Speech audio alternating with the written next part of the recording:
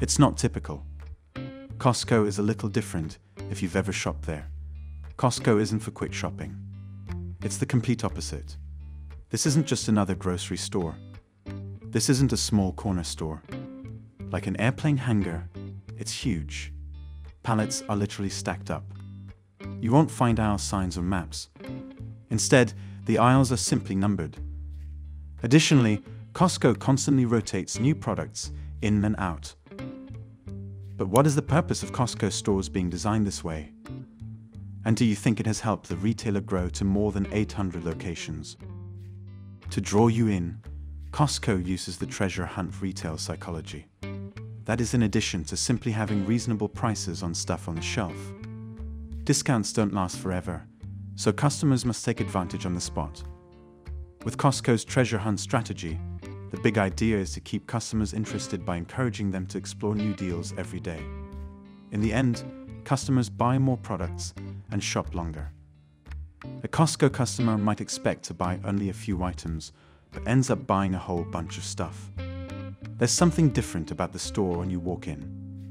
So, you're compelled to purchase, and you're also compelled to come back to see what's new.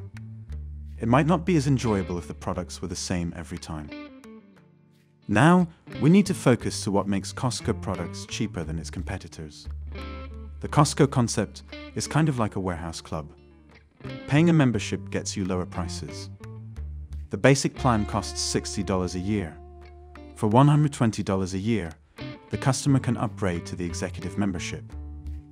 Most of Costco's money comes from membership fees.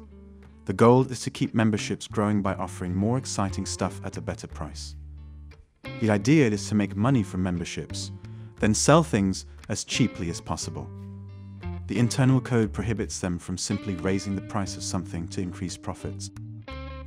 Costco saves time and money by focusing on pallets instead of putting each item on a shelf individually. This eliminates some labor costs and introduces some time savings. According to Costco, their average profit for items is 11%, not the 25 to 50% you see in retail.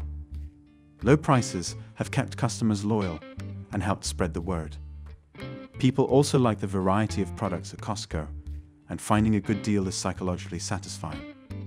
Costco employees are usually very skilled and have been there a long time, so they know what Costco customers want. There's a tendency for retailers to think that shoppers want more choices. Costco does not believe in that.